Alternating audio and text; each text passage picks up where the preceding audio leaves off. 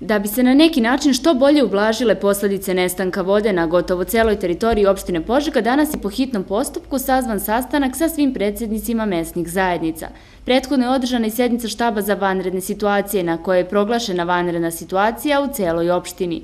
Na sastanku predstavnika mesnih zajednica donet je izvestan broj zaključaka, sve u cilju smanjivanja štetnih posljedica nastalih zbog vanredne situacije sa snabdevanjem pijaćom vodom.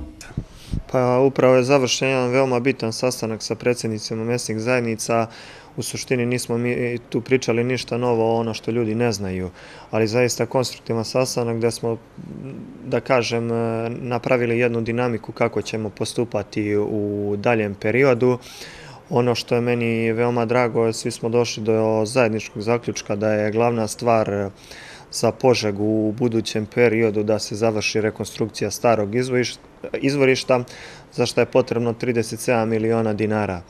E, mogu slobodno da kažem da će sljedeće godine, e, ako ne uz pomoć države, onda sama opština finansirati svih 37 e, miliona dinara i tu će opština Požega dobijati 70 litara u sekundi vode iz sobstvenih izvorišta, ne računajući vodosnodbevanje Rzav. Ovo naravno ne znači da će opština Požega izaći iz vodosistema Rzav, nego će imati i svoju pijaću vodu koja će biti gotovo istog kvaliteta kao i Rzavska voda.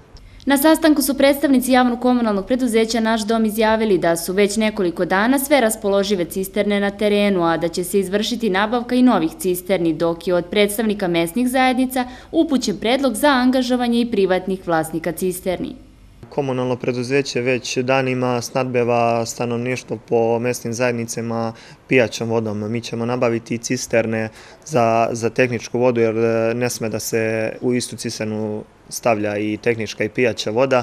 U što kraćem roku ćemo nabaviti te cisterne. Mnogo ljudi sa sela je reklo da im je bitnija tehnička voda od pijaće vode. Za pijaću vodu lako mogu da se snađu, za tehničku ne. Tako da ćemo to rešiti u što kraćem roku. E, neki su čak ponudili rešenje da oni sami dolaze cisternama da uzimaju tehničku vodu i to će biti moguće kroz par dana e, sa starog izvorišta. Na sastanku smo dogovorili da će opština e, svakoj mesnoj zajednici dati e, gorivo za jednu cisternu u zavisnosti da li će mesna zajednica naći cisternu ili neće, ali ako ne, to je njihov izbor. Mi ćemo svakako, bez obzira da li neka mesna zajednica e, koristila sosvenu cisternu ili ne, mi ćemo slati u sve mesne zajednice cisterne sa tehničkom vodom i tu zaista neće biti nikakve podele. Dolaskom vode sa sistema Rzav, stari rezervoari i izvorišta su dosta zapušteni, pa se pre dopune vodom i cisterni mora izvršiti dezinfekcija. Se nećemo svakako dopremati vodu u ta neka stara izvorišta koja, su, koja nisu u upotrebi, koja su puna mulja, jer mi kad bi stavili eh, tehničku vodu ili pijaću vodu, mislim pijaću vodu svakako ne možemo stavljati, doći će samo do toga da ta, i ta tehnička voda neće biti ni za kakvu korist. Jedan od predloga bio je i formiranje posebnog preduzeća za snabdevanje vodom. Sticajem slučajnih okolnosti, ja sam taj koji sam vodu Rzavsku pustio u ovu opštinu 1993. godine kao predsjednik opštine. Iskren da bude, nadao sam se da će to ići malo brže i da ćemo do potrebnih količina vode, kvalitetne, najkvalitetnije vode doći mnogo brže. Ali splet je okolnosti sasvim drugi. Iznao samo jednu stvar koja bi mogla da doprinese boljem snadbevanju vode opštine Požega. A to je, da budem kratak,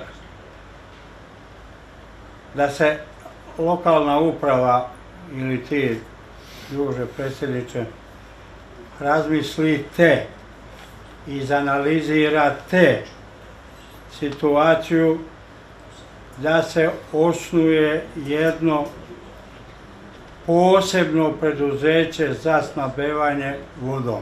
Malo pre sam i odgovorio, zaista nema potrebe za osnivanjem novog preduzeća Kao što sam rekao, glavna stvar za opštinu Požega je da se završi rekonstrukcija starog izvorišta u iznosu 37 miliona dinara i to staro izvorište će biti na funkciji u korišćenju javno-komunalno preduzeće. Projekat postoji, postoji građevinska dozvola, država je već opredelila bila taj novac eh, preko Kancelarije za upravljanje javnim ulaganjima, ali nažalost eh, zbog situacije koja je zadesila čitav svet eh, prošle godine koronavirus, taj novac je verovatno morao da bude povučen za izgradnju COVID bolnica i pomoć države privrednom sistemu.